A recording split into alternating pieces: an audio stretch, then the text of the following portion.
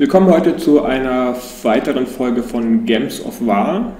Ähm, Anlass ist eine deutliche Veränderung im PvP, aber auch sonst gab es mit der, ich glaube 2. irgendwas haben sie das genannt, ähm, einige Veränderungen, die ich gleich mal kurz ein bisschen durchgehen möchte. Und ich nehme euch auf eine Schatzkiste und einen PvP-Kampf mit und erläutere da ein bisschen, was sich verändert hat. So, inzwischen habe ich einige Königreiche ähm, auf Level 10 gebracht, ähm, speziell vier Königreiche hier unten, die einen Bonus auf meine Magiefähigkeiten geben, ähm, was natürlich dann den Einsatz von bestimmten Waffen verbessert.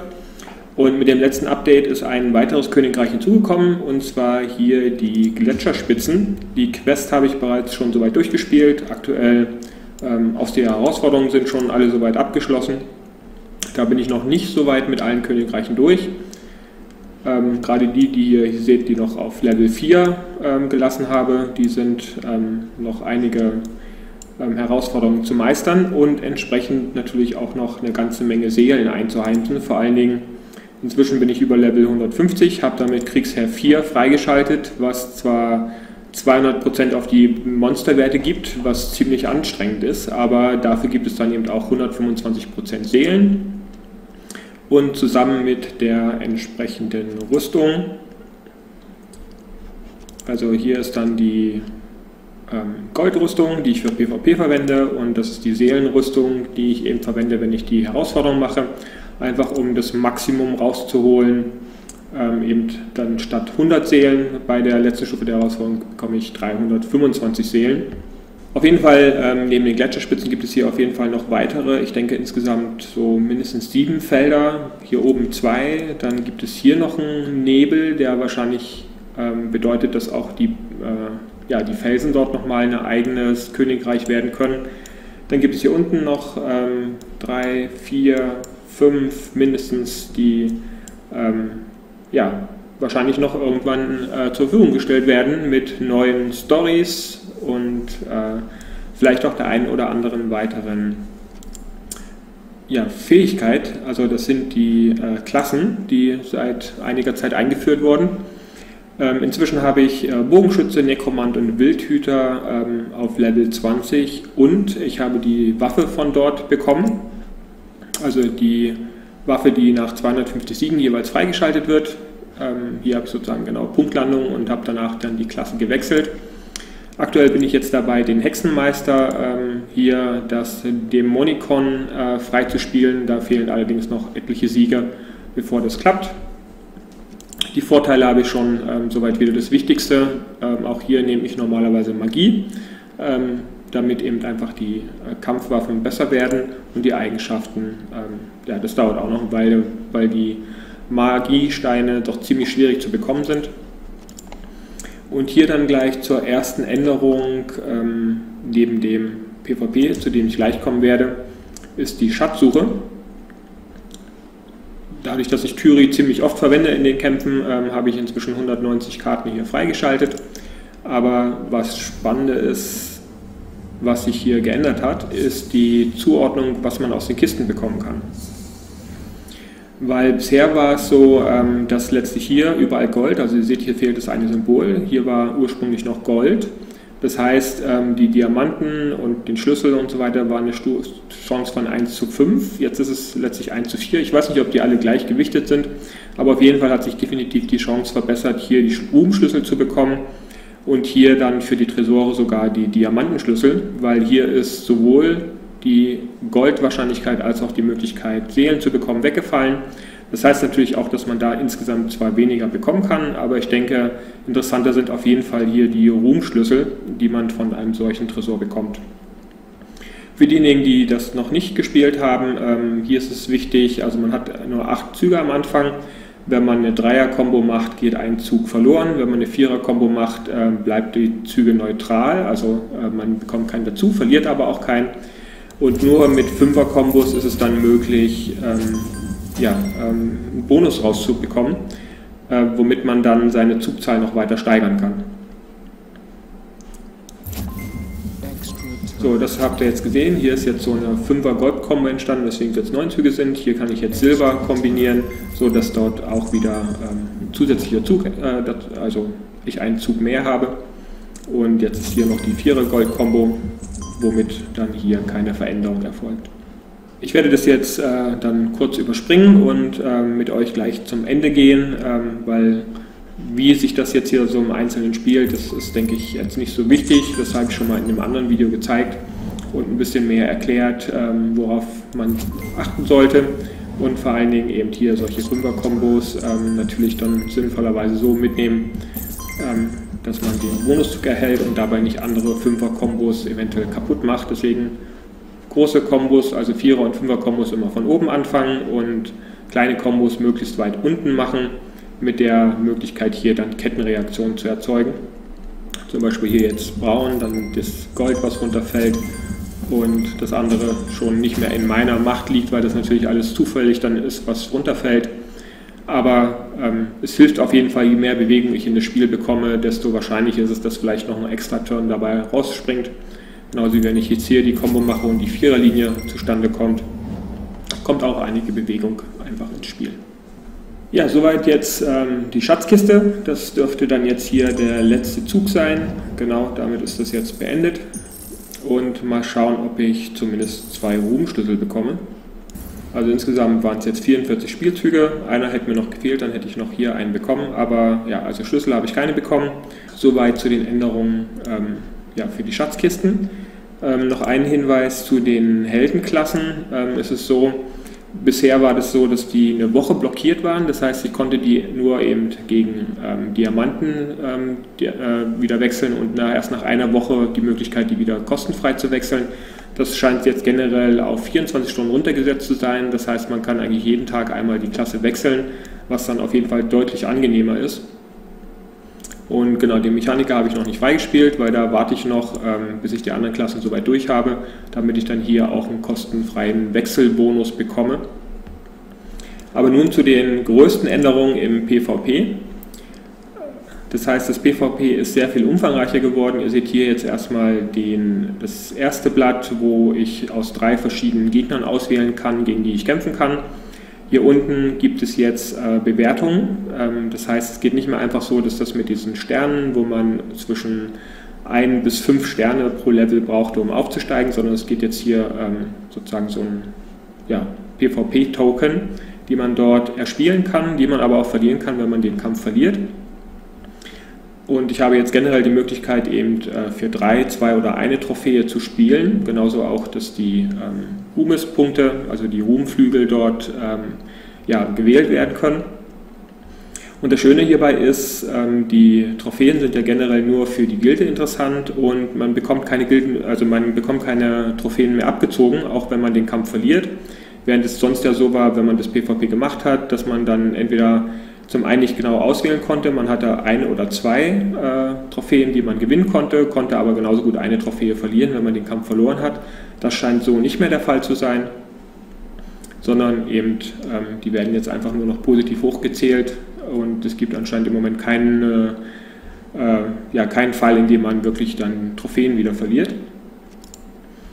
Dann gibt es hier noch ungewertete, das heißt, hier kann man einfach noch ein bisschen üben, gucken, ob sein Deck aktuell überhaupt stark genug ist, ob man es schafft, gegen die zu bestehen und ähm, kann auch hier noch ein bisschen tun, äh, Trophäen für die äh, Gilde bekommen. Hier ist aktuell meine Statistik für äh, diese Woche. Ich habe mich bis jetzt auf Rang 7, beziehungsweise eigentlich bin ich ziemlich sicher, dass ich gestern schon Rang 6 erreicht habe. Heute beim Anmelden war, glaube ich, auch noch Rang 6 sichtbar. Allerdings, äh, so wie man hier im Kampfprotokoll sieht, ähm, gehen auch ein paar PvP-Punkte verloren, wenn man ähm, ja, die Verteidiger verliert, also die Verteidigung verliert. Und deswegen bin ich jetzt hier aktuell unter die 1400 gefallen. Und was mich was mir beim neuen PvP ganz gut gefällt, sind einfach, dass die Belohnungen sehr viel umfangreicher sind. Also zwischendrin kann ich mich nicht erinnern, dass man hier tatsächlich ähm, schon solche Boni erhalten hat. Ich weiß, am Ende der Woche gab es einen gewissen Bonus, ähm, der vielleicht etwa dem hier entspricht. Aber so bis dahin, äh, also man kann jetzt hier eine ganze Reihe an Ruhmesschlüsseln und äh, ja, äh, Geld und Seelen und so weiter zusätzlich bekommen. Mit jedem Rangaufstieg ähm, wird das halt dann nochmal ausgeliefert. Ähm, mal sehen, ob das hier dann, äh, wenn ich das jetzt gleich mit euch einen so einen Kampf gemacht habe, ob ich da ähm, ja, die Belohnung nochmal bekomme. Das wäre natürlich interessant, weil dann einfach so knapp auf 1900, dann warten, bis man hoffentlich einmal im, in der Verteidigung besiegt wurde und wieder drunter fällt und dann, beziehungsweise wahrscheinlich kann man es sogar selber ja provozieren, indem man dann einfach einen Kampf verliert und dann wieder aufsteigt. Also ich bin gespannt, wie das gleich ablaufen wird. Dann hier die Verteidiger, ähm, da bin ich mir nicht sicher, aber wahrscheinlich gelten hier auch nur die, die automatisch gewonnen werden. Ihr könnt aber nicht mehr ähm, selber spielen, ähm, also die Verteidigung nicht mehr selber in die Hand nehmen. Gut, ich denke, das mit dem Kampf ist einfach nur, ähm, ja, dass, dass man zwar generell gegen die kämpfen kann, aber das hat nichts damit zu tun, ähm, dass das dann als Verteidigung gelten würde.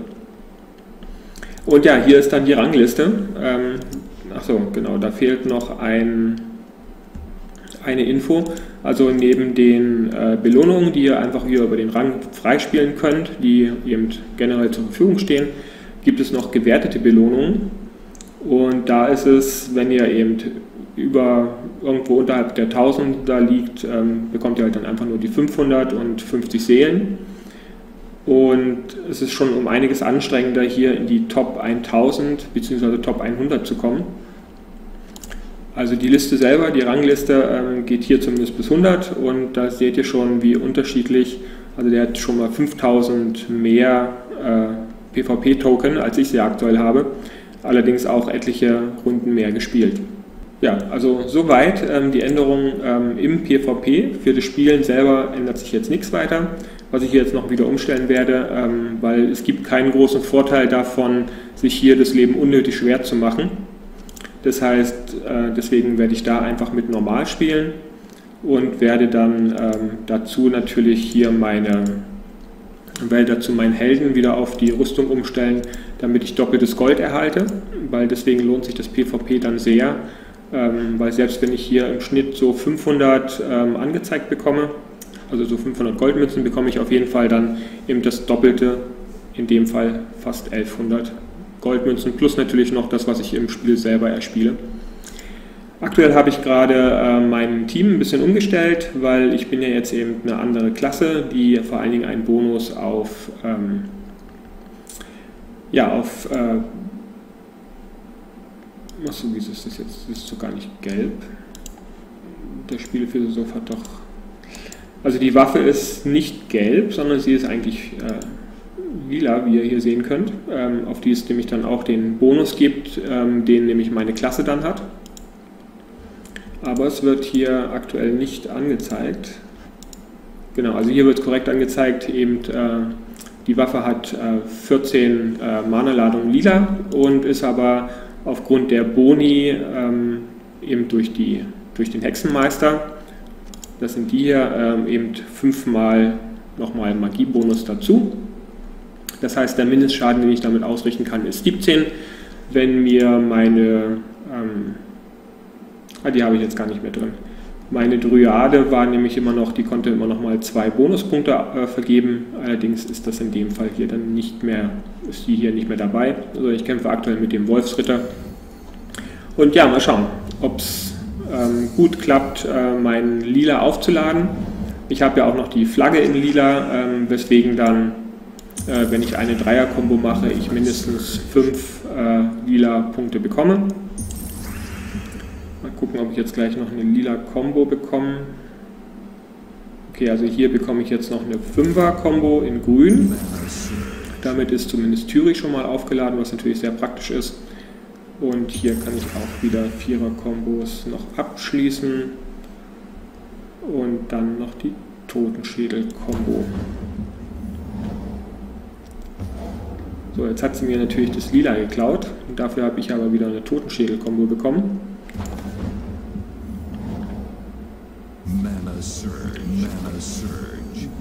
So, also mit Thürig könnte ich jetzt auf jeden Fall braun aufladen. Ähm, okay, es ist noch Totenschädel wichtiger, als irgendwelche anderen Sachen dann einzusetzen. Okay, da bekomme ich auf jeden Fall die Braun-Kombo. Mal gucken, ob die dann den schon komplett auflädt. Ne, kein Mana Search, das heißt nur normal. Aber auch jetzt, ah, hier kann ich zumindest endlich mal eine lila Combo machen. Okay. Die wichtigen Sachen abarbeiten. Okay, da ist jetzt die erste und ihr habt gesehen, es sind fünf Punkte jetzt gewesen, aber jetzt eben auch noch kein weiteres Mana Search dazu. Hier kann ich jetzt auch wieder noch eine Totenschädel-Kombo ähm, ermöglichen, weil natürlich der Totenschädel dann hier genau in die Mitte fällt. Und noch ein Extra-Turn, also im Moment läuft es schon ganz gut. Kann ich hier auch wieder noch einen Extra-Turn machen und bekomme wieder Totenschädel geliefert. Sowas. Damit ist der erste Gegner und vor allen Dingen der Held ist dann schon mal besiegt. Das heißt, dessen Waffe kann er nicht mehr einsetzen. Dafür der jetzt ein paar Vierer kommen gemacht und klaut mir wieder das Lila. So, auf jeden Fall ist es sinnvoll, jetzt erstmal den hier einzusetzen. Ähm, ah, hier habe ich schon einen Angriff gehabt, der ist schon aufs wahre Leben gegangen. Das habe ich gar nicht so richtig mitbekommen. So, der macht jetzt nur 9 Schaden. Aber dann am besten zu dem ist der auch ziemlich weit weg. So, jetzt kann ich hier endlich wieder das Lila aufladen, damit ist meine Waffe dann auch aufgeladen.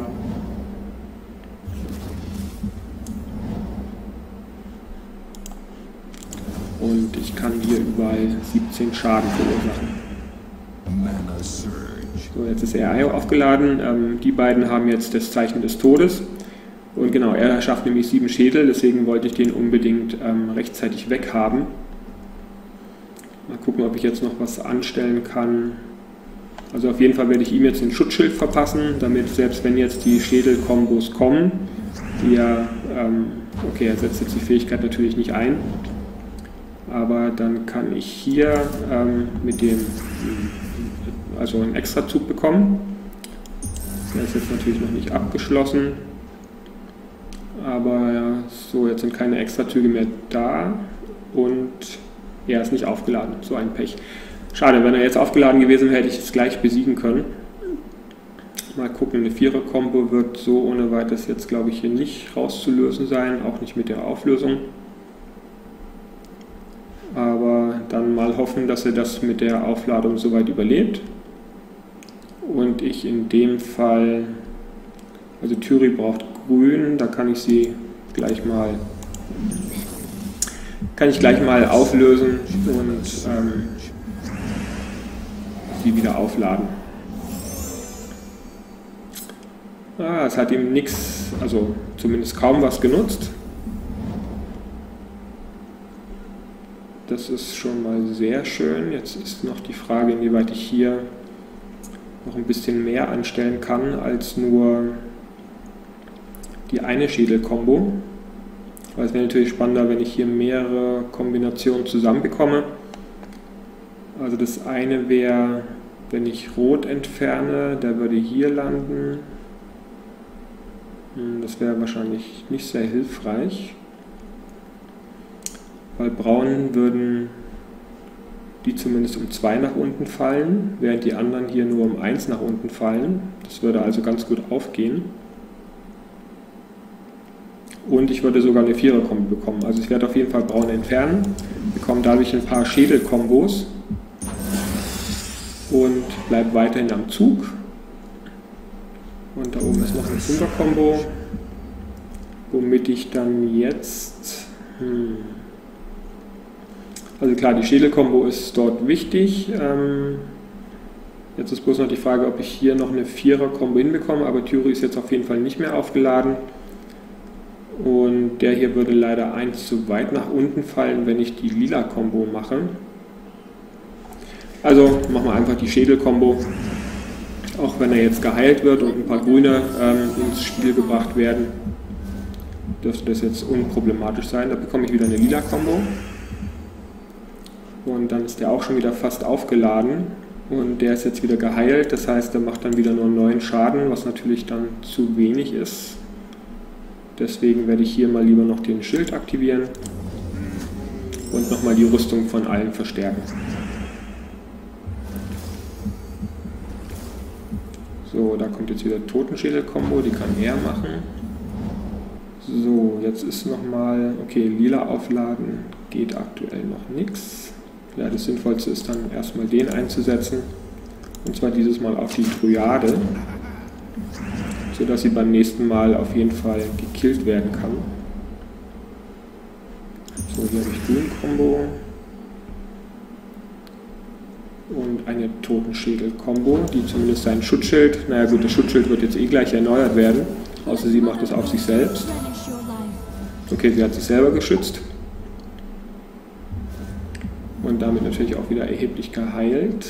So, die Kombo ist natürlich nicht sinnvoll, weil dann bekommt er die Totenschädel-Kombo, aber ich glaube, es gibt aktuell keine andere Kombinationsmöglichkeit. Ja doch, ich kann die blaue machen, sodass die andere Kombination... Ja, so ist es noch besser, so bleibe ich wenigstens am Zug. Und ja, es ist wieder die Qual der Wahl. Weil klar, Totenschädel-Kombo, 17er-Kombo, dort noch eine. Also da ist es jetzt am sinnvollsten. Ich mache jetzt erstmal ähm, sozusagen platziere das Zeichen des Todes und die 17 Schaden auf alle beide. Dann äh, macht er zwar noch ein, äh, eine Totenschädel-Kombo jetzt, aber ich kann dann die zweite Totenschädel-Kombo selber nutzen. Und das Schutzschild der Dryade ist auf jeden Fall schon mal weg. So, damit ist er dann ausgeschaltet. Und jetzt fehlt bloß noch die Dryade einmal zu killen. Okay, der hat jetzt noch eine ganze Menge. Aber das reicht. Okay, mit 12 würde es nicht reichen, aber da sie schon verwundet ist, kriege ich hier mit 15 Schaden auf sie und damit ist die Schlacht an der Stelle beendet. Ihr seht also hier jetzt ähm, die drei Trophäen, die ich für den Kampf bekommen habe, sowie zwei Schlüssel, die ich im Spiel gewonnen habe. Also das sind jetzt die normalen Goldschlüssel, Ruhmespunkte. Ähm, hier eben, es waren ja 549, das heißt es waren 1100 plus jetzt noch das, was ich im Spiel an äh, Bonusgeld bekommen habe. Dann die, ähm, ja, die normalerweise die vier Seelen, die jetzt hier halt verstärkt sind, nochmal, weil ich dort ähm, ja auch Boni abstaube. Und ein ja, äh, ein Edelstein ähm, für die Ausrüstung. Und jetzt bin ich wieder auf 421, das heißt, ich bin jetzt wieder auf Stufe 6. Und mal gucken, ob ich jetzt die Boni, genau, also der Magiestein, das war das, was vorhin schon angezeigt wurde. Und okay, also es lässt sich nicht beschummeln, ähm, es wird nur nicht korrekt angezeigt, weil eigentlich hatte ich ja gesagt, ich habe die gestern schon einmal bekommen und bekommen sie jetzt eben nicht noch einmal. Ähm, ist schade, dass es dann nicht so korrekt angezeigt wird, also auch wenn hier ähm, sozusagen der Balken nach unten fällt, dass dann nicht die Haken hier gesetzt bleiben. Aber das sind noch so einige Bugs in diesen Neuerungen, ähm, wo halt hier und da vielleicht noch das eine oder andere nicht ganz passt. Aber aus meiner Sicht auf jeden Fall eine sehr spannende Neuerung, das jedenfalls für mich das PvP lohnender und spannender macht, einfach weil natürlich sehr viel mehr ähm, Belohnungen auf mich warten. Gerade die vielen Ruhmkisten, die Ruhmschlüssel, die ich jetzt hier erspielen kann, da, ähm, ja, da wirkt das PvP einfach unter der Woche auch ähm, schon spannender, als wenn man nur am Ende der Woche so eine Belohnung bekommt ähm, und zwischendrin eigentlich nur diese paar Sterne bisher geerntet hatte. Es ist hier wirklich deutlich schöner, ähm, das zu spielen. Ja, soweit für heute mit den Neuerungen ähm, im PvP für Games of War. Ich wünsche euch viel Spaß beim Spielen und Ausprobieren. Und wer aktuell noch auf der Suche ist nach einer entspannten Casual-Gilde, kann sich gerne mal bei uns melden. Also ich spiele es zusammen mit meiner Freundin. Wir sind inzwischen in der Liga ähm, auf, ich glaube, Silber 1, genau Silber 1, das heißt 30% Bonusgold. Und wer eben Interesse hat, hier mitzuspielen, und einfach nur eine entspannte Gilde sucht, in der man ähm, ja, einfach gemeinsam ähm, weiter aufsteigen kann und natürlich hier auch ähm, ja, die Boni für die ähm, Beherrschung der Magiekräfte äh, sammeln möchte, ist gerne eingeladen. Bis zum nächsten Mal. Tschüss!